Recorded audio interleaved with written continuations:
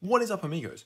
Today we're talking about pressure gradients explained. And pressure gradients are one of the most important parts of not only aerodynamics but fluid mechanics in general. And they affect many different systems.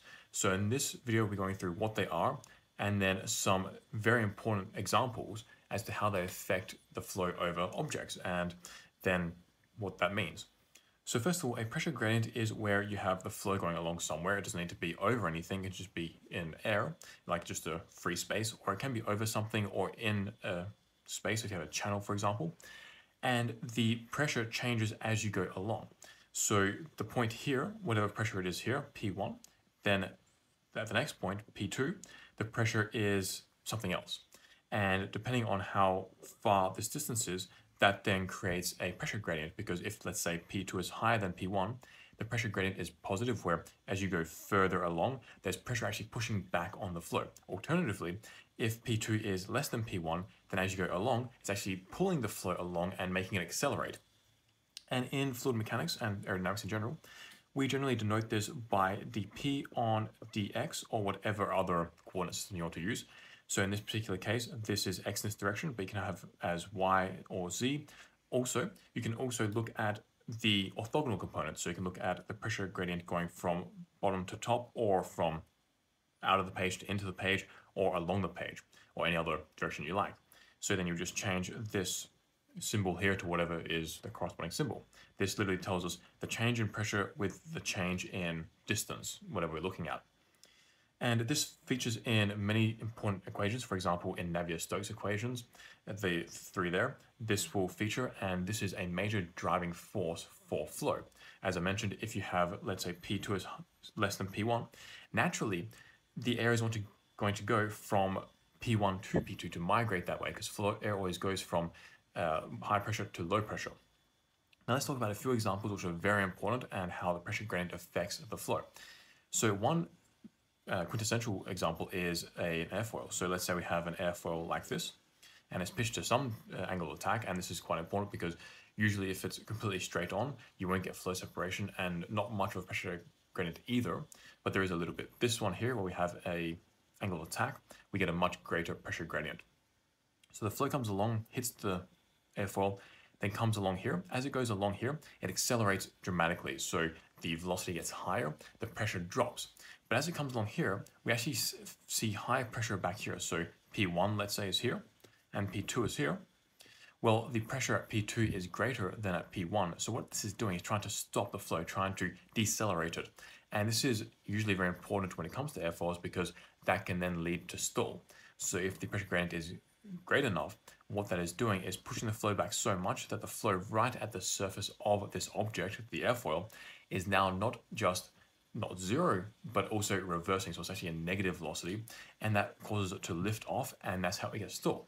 Without this adverse pressure gradient, we wouldn't get stalled. So that means that if we didn't have the adverse pressure gradient, you could pitch the airfoil to whatever angle of attack you like, and the flow would still stay attached, and that would change things a lot.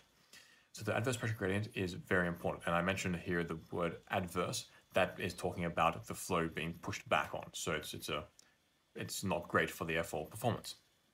And in this particular case, for an airfoil also applies to really any curved surfaces, even on um, cars, for example, if you have a roof and it's curved and it's too curved, the flow then detach as well and you get a wake, and that's not great for drag either or for lift.